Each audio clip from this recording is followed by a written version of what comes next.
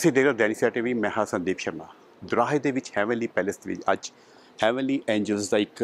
ਉਦਘਾਟਨ ਕੀਤਾ ਜਾ ਰਿਹਾ ਉਸ ਰੂਮ ਦੇ। ਤੋਂ ਆਓ ਗੱਲਬਾਤ ਕਰਦੇ ਜਿਹੜੇ ਤੁਹਾਨੂੰ ਦੱਸਦੇ ਅਨਿਲ ਮੋਂਗਾ ਜੀ, ਜਿਹੜਾ ਇਹਨਾਂ ਦੇ ਸਰਪ੍ਰਸਤ ਹੈਗੇ ਆ ਔਰ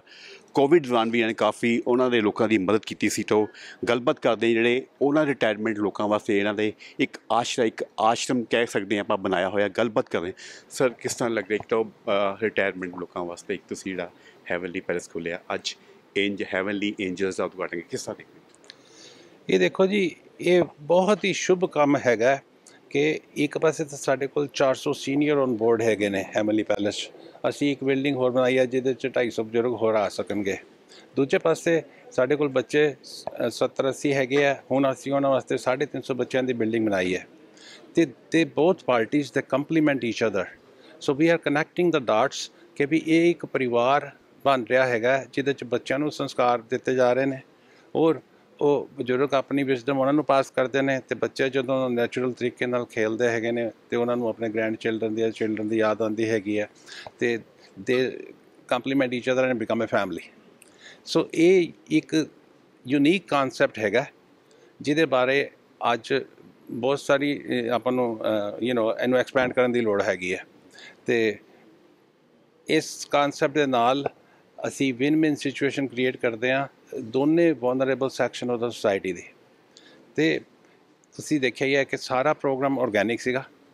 ਬੱਚੇ ਸਾਰੇ ਆਪਣੇ ਅੰਦਰ ਦੇ ਸੀਗੇ, ਬਜ਼ੁਰਗ ਸਾਰੇ ਆਪਣੇ ਅੰਦਰ ਦੇ ਸੀਗੇ, ਤੇ ਉਹਨਾਂ ਦੀ ਖੁਸ਼ੀ ਤੁਸੀਂ ਉਹਨਾਂ ਦੇ ਪ੍ਰੋਗਰਾਮ ਤੋਂ ਦੇਖ ਸਕਦੇ ਹੋ ਕਿ ਸਾਰਾ ਕੁਝ ਉਹਨਾਂ ਨੇ ਨੈਚੁਰਲ ਆਪਣੀ ਪ੍ਰੈਕਟਿਸ ਕਰਕੇ ਕੀਤਾ ਹੈਗਾ। ਤੇ ਮੈਂ ਇਸ ਸੰਸਥਾ ਦਾ ਪ੍ਰਮੁੱਖ ਸੇਵਕ ਹੈਗਾ। ਔਰ ਅਸੀਂ ਇਹ ਸੰਸਥਾ 28 ਸਾਲ ਪਹਿਲਾਂ ਸ਼ੁਰੂ ਕੀਤੀ ਸੀ। ਅਸੀਂ ਮਾਈਗ੍ਰੈਂਟ ਪੀਪਲ ਨੂੰ ਇੱਕ ਫ੍ਰੀ ਮੀਲ ਦੇਣ ਤੋਂ ਸ਼ੁਰੂ ਕੀਤੀ ਸੀਗੀ 1000 1200 ਬੰਦੇ ਤੋਂ, ਲੇਕਿਨ ਹੁਣ ਅਸੀਂ 7 ਤੋਂ 8000 ਬੰਦਿਆਂ ਨੂੰ ਰੋਜ਼ ਦੇ ਰਹੇ ਹਾਂ, ਲੇਕਿਨ ਸਾਡੀ ਪਲਾਨ 100000 ਮੀਲ ਰੋਜ਼ ਡਿਲੀਵਰ ਕਰਨ ਦੀ ਹੈਗੀ ਹੈ। ਸੋ ਕੋਵਿਡ ਦੇ ਵਿੱਚ ਵੀ ਵੀ ਆਰ ਫੋਰਚੂਨੇਟ ਕਿ ਅਸੀਂ 60 ਤੋਂ 65000 ਮੀਲ ਰੋਜ਼ ਡਿਲੀਵਰ ਕਰ ਸਕੇ। ਔਰ within 11 weeks we were able to serve 4.2 million meals ਤੇ ਉਹ ਉਸਲੇ ਪਰਮਾਤਮਾ ਨੇ ਸਾਨੂੰ ਓਪਰਚੁਨਿਟੀ ਦਿੱਤੀ ਕਿ ਵੀ ਇਹ ਸਾਰੀਆਂ ਚੀਜ਼ਾਂ ਅਮਰੀਕਾ ਬੈਠੇ ਕੈਮਰੇ ਤੋਂ ਦੇਖ ਸਕਦੇ ਸੀ 7-7 ਕਿਲੋਮੀਟਰ ਲਾਈਨ ਲੱਗਦੀ ਸੀ। ਉਹਦੇ ਬਾਅਦ ਸਾਡੀ ਐਂਬੂਲੈਂਸ ਜਾਂਦੀਆਂ ਹੈਗੀਆਂ ਸਲੰਪਸ ਦੇ ਵਿੱਚ ਜਿੱਥੇ ਉਹ ਮੈਡੀਸਨਸ ਦਿੰਦੀਆਂ ਹੈਗੀਆਂ ਡਾਕਟਰਸ ਨਰਸਿਸ ਨਾਲ ਹੁੰਦੇ ਨੇ ਤੇ ਜਿੰਨੀਆਂ ਵੀ ਉੱਥੇ ਲਾਈਫ ਸੇਵ ਹੁੰਦੀਆਂ every day you know that is also you know mm, mm, give us a lot of peace ਤੇ ਉਹਦੇ ਬਾਅਦ ਸਾਡਾ ਇੱਕ ਤੀਸਰਾ ਪ੍ਰੋਗਰਾਮ ਹੈਗਾ ਮਾਰਗਦਰਸ਼ਨ ਜਿਹਦੇ ਚ ਅਸੀਂ ਉਹ ਬੱਚਿਆਂ ਨੂੰ ਸਲੰਪਤਿਆਂ ਨੂੰ ਲਿਆ ਕੇ ਨਾ- ਉਹਨਾਂ ਦੀ ਸਕਿੱਲ ਸੈਟ ਆਇਡੈਂਟੀਫਾਈ ਕਰਕੇ 90 ਡੇਜ਼ ਉਹਨਾਂ ਨੂੰ ਟ੍ਰੇਨ ਕਰਦੇ ਹੈਗੇ ਆ ਕੰਪਿਊਟਰ ਸਿਖਾ ਕੇ ਉਹਨਾਂ ਨੂੰ ਫਿਰ ਜੌਬ ਤੇ ਲਗਾਉਂਦੇ ਹੈਗੇ ਆ, ਫਿਰ ਉਹਨਾਂ ਨੂੰ ਫਾਲੋ ਅਪ ਕਰਦੇ ਆ। ਉਹਨਾਂ ਨਾਲ ਕੀ ਹੈ ਕਿ ਬੱਚੇ ਦੀ ਲਾਈਫ ਟਰਾਂਸਫਾਰਮ ਹੋ ਜਾਂਦੀ ਹੈਗੀ ਹੈ। ਤੇ ਉਹ ਇੱਕ ਲੜਕੀ ਜਦੋਂ 8-10 ਹਜ਼ਾਰ ਕਮਾਉਣ ਲੱਗ ਪੈਂਦੀ ਹੈ, ਉਹਦੇ ਅੱਗੋਂ ਨੈਕਸਟ ਬੱਚੇ ਅਨਐਜੂਕੇਟਡ ਨਹੀਂ ਹੋਣਗੇ। ਤੇ ਉਹ ਜਿਹੜਾ ਪ੍ਰੋਗਰਾਮ ਹੈਗਾ ਉਹਦੇ ਚ ਅਸੀਂ 8 ਤੋਂ 10 ਹਜ਼ਾਰ ਬੱਚਿਆਂ ਦੀ ਲਾਈਫ ਕੰਪਲੀਟਲੀ ਟਰਾਂਸਫਾਰਮ ਕਰ ਚੁੱਕੇ ਹਾਂ ਔਰ ਸਾਡੀਆਂ ਐਫਰਟਸ ਕੰਟੀਨਿਊਡ ਹੈਗੀਆਂ। ਇਹ ਚੌਥਾ ਪ੍ਰੋਗਰਾਮ ਸਾਡਾ ਸੀਨੀਅਰ ਸਿਟੀਜ਼ਨ ਹੋਮ ਹੈਗਾ ਇਹ ਦੁਨੀਆ ਦਾ ਸਭ ਤੋਂ ਖੂਬਸੂਰਤ ਤੇ ਸਭ ਤੋਂ ਵੱਡਾ ਸੀਨੀਅਰ ਸਿਟੀਜ਼ਨ ਹੋਮ ਹੈਗਾ ਤੇ ਤੁਸੀਂ ਐਂਬੀਐਂਸ ਦੇਖ ਹੀ ਰਹੇ ਹੋ। ਘਰ ਤੋਂ ਬੈਟਰ এনवायरमेंट ਹੈਗਾ। ਐਦਾਂ ਹੀ ਜਿਹੜਾ ਐਂਜਲਸ ਦਾ ਹੁਣ ਖੋਲਿਆ ਹੈਗਾ, ਇਹ ਵੀ ਪੰਜਾਬ ਦਾ ਜਾਂ ਇੰਡੀਆ ਦਾ ਸਭ ਤੋਂ ਖੂਬਸੂਰਤ ਬੱਚਿਆਂ ਦਾ ਹੋਮ ਹੋਏਗਾ। ਤੇ ਸਾਡੇ ਕੋਲ ਹੁਣ ਦੇਖੋ ਲਾਸਟ ਵੀਕ ਕਿਸੇ ਨੇ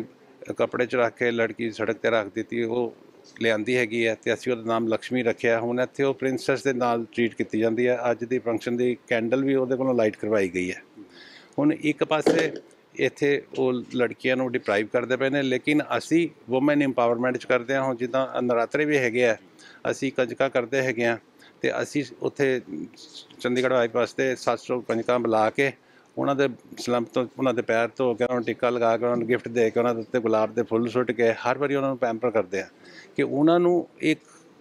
ਯੂ نو ਸ਼ੁਰੂ ਤੋਂ ਹੀ ਇਹ ਭਾਵਨਾ ਨਾ ਹੋਵੇ ਕਿ ਦੇਰ ਇਜ਼ ਸਾਡੇ ਅੰਦਰ ਮਾਤਾ ਨਹੀਂ ਹੋ ਸਕਦੀ। ਕਿਸੇ ਵੀ ਬੱਚੇ ਦੇ ਅੰਦਰ ਮਾਤਾ ਦਾ ਰੂਪ ਹੋ ਸਕਦਾ ਹੈਗਾ ਤੇ ਉਹ ਅਲਟੀਮੇਟ ਗੋਲ ਹੈਗਾ empowerment of women and helping the most marginal and that we all must do it ਕਿ ਭਈ ਜਿੰਨੀ ਜਿੱਦਾਂ ਹੁਣ ਤੁਸੀਂ ਮੀਡੀਆ ਤੇ ਵੀ ਕਵਰ ਕਰ ਰਹੇ ਹੋ let's see how far it goes ਤੇ ਜੇ ਕੋਈ ਵੀ ਹੋਰ ਇਦਾਂ ਦਾ ਕੰਮ ਕਰਨਾ ਚਾਹੁੰਦਾ ਹੈ ਤੇ we are willing to become the knowledge partner so this way they can capitalise on our experience thank you ਤੁਸੀਂ ਦੇਖ ਸਕਦੇ ਹੋ, ਇਹ ਉਹ ਸ਼ਖਸ ਹੈ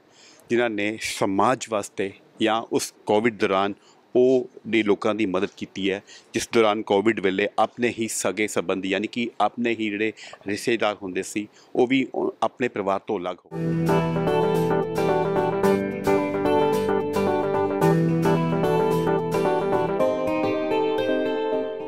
मेरा नाम डॉक्टर तनु जैन है जी जी। आज का जो यहाँ फंक्शन है कैसे देखते हो एक हेवनली एंजल्स के नाम से एक ऑर्गेनाइजेशन आज इसका उद्घाटन कैसे देखते हो इसको? जी I think it's a it's a very big social initiative and the way they have given back to the society I think it's a inspiration and it's a phenomenal change that they have brought in by making such a huge institution which we've never come across ever in India and uh, it's a place where everybody can come and uh, the best thing is the amalgam of the elderly people and the children so i think when we join these two parts of society together we make uh, it a beautiful place and a, actually लेकिन a आप- heaven आप, अ, जी। ये मानते हो आप भाई अ, बच्चों को लड़कियों स्पेशली लड़कियों को हमेशा अ, एक इग्नोर किया जाता है लेकिन अ, केंद्र की मोदी सरकार द्वारा महिला एम्पावरमेंट की बात की जाती वोमन एम्पावरमेंट की बात की थी। लगता है यहाँ पर भी ऐसे वो जैसे एक लड़की को उठाया सड़क से उसका यहाँ पर पालन पोषण किया जी। I think with the present government times have really changed and what we see a see change in the attitude of people also and it all it is all because of the present government the way they carry the women issues and I think everybody is getting inspired by the government and that's why we can see such changes and such huge changes in society by people who can really make it happen कि ऐसे और भी heavenly palace होने चाहिए state में जी बिल्कुल होने चाहिए I think Punjab has initiated it and I believe in the coming times rest of the states also will will actually follow the same model and bring in the sea change in the society which we are seeing है heavenly palace ਦੇ ਵਿੱਚ ਅੱਜ heavenly Angeles ਦਾ ਜਿਹੜਾ ਅੱਜ ਉਦਘਾਟਨ ਕੀਤਾ ਜਾ ਗਿਆ ਔਰ ਉਹਨਾਂ ਬੱਚਿਆਂ ਵਾਸਤੇ ਗੱਲ ਕੀਤੀ ਹੈ, ਇੱਕ ਲੜਕੀ ਜਿਹੜਾ ਸੜਕ ਤੇ, ਨਵਜਾਤ ਬੱਚੀ ਜੋ ਸੜਕ ਤੇ ਇਹਨਾਂ ਨੂੰ ਮਿਲਦੀ ਹੈ ਤਾਂ ਉਸ ਨੂੰ ਆਪਣੇ ਇੱਥੇ ਲੈ ਕੇ ਆਉਂਦੇ ਹੈ ਐਂਜਲ ਪੈਲੇਸ ਦੇ ਵਿੱਚ ਤਾਂ ਉਸ ਨੂੰ ਇੱਥੇ ਉਹ ਪਲਦੀ ਹੈ, ਉਹਨੂੰ ਪਾਲਦੇ ਤਾਂ ਉਹਦਾ ਨਾਮ ਲక్ష్ਮੀ ਰੱਖਿਆ ਜਾਂਦਾ ਹੈ। ਤੋ ਅੱਜ ਮਾਤਾ ਦੇ ਨਵਰਾਤੇ ਦੇ ਉੱਤੇ ਉਹਦੀ ਪੂਜਾ ਕੀਤੀ ਗਈ ਔਰ ਉਹੀ ਸੰਦੇਸ਼ ਹੈ ਵੀ ਲੜਕੀਆਂ ਦੀ ਜਿਹੜੀ ਸਿਮਿਲੈਰਿਟੀ ਦੀ ਗੱਲ ਕੀਤੀ ਹਮੇਸ਼ਾ ਜਾਂਦੀ ਹੈ, ਪੱਖਪਾਤ ਦੀ ਗੱਲ ਕੀਤੀ ਹੈ, ਅੱਜ ਲੜਕੀਆਂ ਕਿਸੇ ਵੀ ਲੜਕੇ ਤੋਂ ਘੱਟ ਨਹੀਂ ਹੈ। ਸੇ ਉਹ ਸ਼ਖਸ ਨੇ ਅਨਿਲ ਮੋਂਗਾ ਜਿਨ੍ਹਾਂ ਦੇ ਸੀਨੀਅਰ ਸਿਟੀਜ਼ਨ ਜਿਹੜਾ ਦੁਰਾਹੇ ਦੇ ਵਿੱਚ ਇੱਕ ਬਹੁਤ ਖੂਬਸੂਰਤ ਜਿਹੜਾ ਇਹਨਾਂ ਨੇ ਉਹਨਾਂ ਲੋਕਾਂ ਵਾਸਤੇ ਜਿਹੜਾ ਰਿਟਾਇਰਮੈਂਟ ਸੀਨੀਅਰ ਸਿਟੀਜ਼ਨ ਵਾਸਤੇ ਇੱਕ ਆਸ਼ਰ, ਆਸ਼ਰਮ ਬਣਾਇਆ ਹੋਇਆ, ਜਿੱਥੇ ਲੋਕ ਆਪਣੀ ਮਰਜ਼ੀ ਨਾਲ ਆ ਕੇ ਇੱਥੇ ਰਹਿ ਸਕਦੇ ਕੈਮਰਾਮੈਨ ਬੌਬੀ ਨਾਲ ਸੰਦੀਪ ਸ਼ਰਮਾ ਡੈਨੀਸਰ ਟੀਵੀ